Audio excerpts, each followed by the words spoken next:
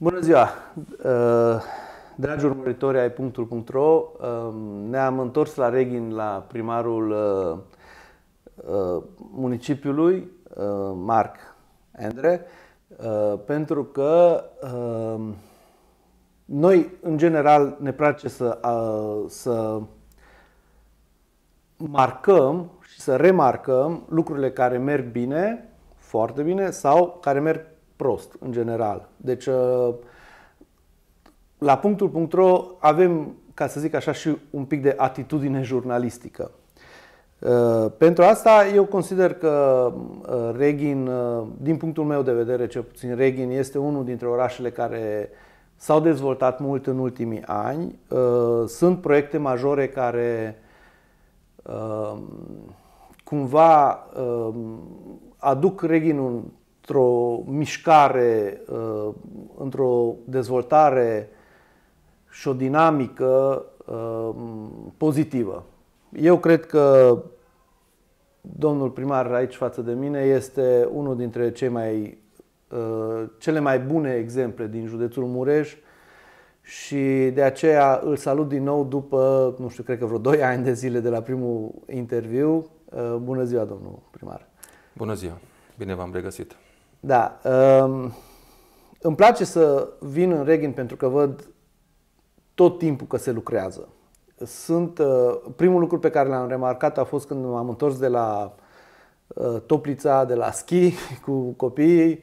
Uh, am remarcat zona industrială, drumul nou care s-a făcut acolo. Uh, avem acolo și, mă rog, uh, treabă, trecem pe acolo cam de fiecare dată. Uh, și am remarcat o, o, o schimbare majoră. Drumul acela era absolut incredibil. Eu nu știu cum îi zice la drum, dar era incredibil de rău. Uh, am văzut-o acolo. Aia e una din investițiile mari. Care? Ierbuș, accente Ier... severe. Așa, bun, da, bun. Ziceți-mi un pic, în afară de acea zonă, uh, pe partea de drumuri, unde mai sunt schimbări în Reghin care merită menționate și aici cumva aș zice pentru reghineni poate nu e atât de important pentru că ei le văd străzile făcute, ci asta mă gândesc că face parte dintr-un plan mai mare. Care e planul pentru drumuri? Da, în primul rând uh, am dorit și vreau să onorez uh, cetățenii orașului. Uh, am avut un program de campanie bine pus cu bază solidă și o mare parte din aceste programe am reușit să le ating. Unele sunt finalizate, unele sunt în lucru, altele acum le demarăm. Dar cum ați enumerat, a fost uh, proiectul de mobilitate care au inclus patru străzi, au fost Accente Sever, Ierbuș, Câmpului și Salcămilor. Toată zona este acum finalizată, e un proiect european, am schimbat total fața orașului, cum ați spus în zona respectivă, s-au reabilitat structura drumului, străzi, trotuar, uh, apă potabilă, conducta magistrală, uh-huh. o mhm. conductă mare care nici nu a fost prevăzut, dar am schimbat din mers, că am văzut că este foarte deteriorată Uzată. și uh, coroborat încă cu 10 autobuze hibride care deja circulă și circulă pe condiții, pe drumuri foarte bune. Deci acest proiect l-am finalizat, sunt foarte bucuros, foarte mândru că acea zonă era total în nepăsare, erau condiții aproape impracticabile de a circula în zona industrială. Acolo avem un mare centru Evora, nu știu dacă pot să da. spun, da. dar acolo foarte mulți oameni se duc la cumpărături și se duc în condiții civilizate. Am făcut și uh, trecerea căii ferate, am făcut modern, cum se convine, cu ajutorul uh, CFR-ului. Deci zona, din acest punct de vedere, este finalizată, ne mândrim. Acum lucrăm și la zona verde, care încet, încet uh, am plantat copaci, puieți, uh, vine iarba verde și ne bucurăm și suntem mândri că acea zonă este pe ani mulți în condiții bune și finalizată. Super. Um, știu că mai, mai sunt și alte zone uh, și alte drumuri pe care le-ați reparat se repară sau urmează să fie reparate? Mai, mai dați-mi două exemple. Un alt proiect major, tot pe bani europeni, este și zona Apalina. Zona Apalina care era extrem, în aceeași, da, o știu. în aceeași condiție, era da. practic impracticabil și uh, am demarat cu întârzieri destul de mari pentru că s-a contestat uh, licitația și am pierdut timp valoros, dar uh, am putut uh, măcar banii europeni să-i cheltuim și acum suntem pe partea neeligibilă, dar suntem în lucru. Uh, la fel, zona Apalinei va arăta cel puțin ca zona cealaltă industrială. Uh, sper spre finalul anului, august-septembrie, încercăm să-l finalizăm. Asta înseamnă că de, din zona Lidlului vine până în Apalina, până la intersecția Șoimilor Căprioarei. Deci toată zona va fi schimbat. Aici intră și cablurile, intră în subteran, o parte din iluminatul public, uh, structura drumului nou, trotuar, uh, conductă de apă nouă, toate branșelementele sunt 170 de branșamente, vor fi schimbate.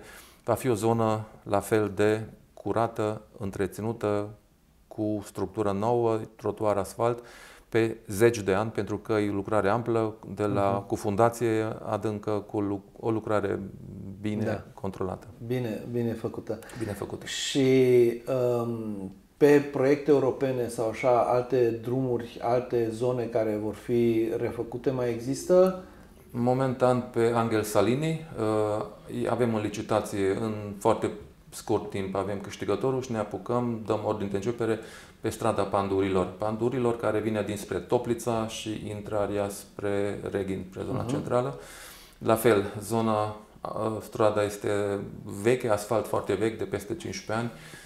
Aici vom introduce și o pistă de biciclete, șanțurile vor fi astupate cu rigolă carosabilă, deci va, va ur, vom urbaniza zona urbaniza. respectivă uh-huh. și va fi la fel un strat nou de asfalt, cu trotuar nou, cu pistă de bicicletă și o zonă foarte circulată și foarte dorită da, de și e destul de lungă totuși. Este destul de lungă. Da. Și urmează tot pe Angel Salini. Acum suntem cu documentația la București, așteptăm să ne invite la semnarea contractului uh, strada Iernoțeni, de la intrarea Mureș până la uh, benzinăria Mol.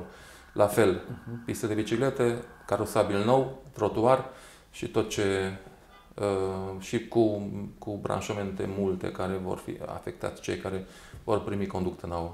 Am înțeles. Uh, chiar dacă uh, nu e doar primăria implicată, v-aș întreba și despre centura uh, Reghinului. Care este situația mai exactă centurei? Da, am mai spus de multe ori. Centura Reghinului este la cea mai uh, avansată fază de când se discută despre centură. Avem câștigătorul, uh, din păcate suma e foarte mare, se contestă, acum este la CNSC, în, la contestație, deci acolo așteptăm... Asta cât pot să mai dureze? Deja de două luni uh, ah. se tergiversează, se mai cer documente, clarificări. Uh-huh. Așteptăm uh-huh. verdictul final. Dacă avem verdictul, înseamnă firma câștigătoare va face proiectul tehnic, după care execuția. S-ar putea, dacă avem noroc, și la finalul acestui an, dacă nu, la începutul anului viitor, deja vom avea un șantier și vom demara Deci lucrarea. va fi vizibil, ca Va să fi zicem. vizibil deja, da. în sfârșit, după, cred că 14-15 ani de așteptări.